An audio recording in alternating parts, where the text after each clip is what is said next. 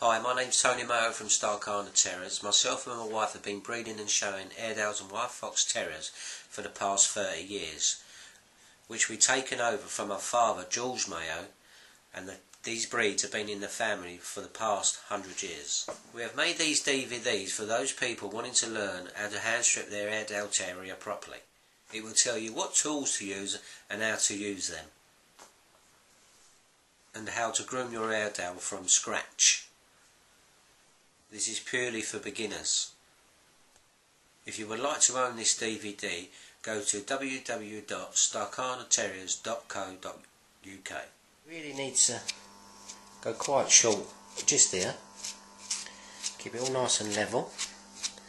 And then when you brush the whiskers forward, it all looks as one, all nice and neat.